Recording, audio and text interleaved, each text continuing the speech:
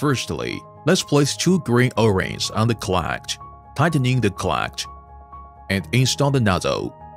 Then sharpen the tungsten electrode, the last step. Put the tungsten electrode through the collet body, insert the welding torch and screw the cap. Please attention, tungsten electrode should expose 1 to 2 millimeters of the nozzle. When use the glass nozzle, glass nozzle welding bead is very clear to see.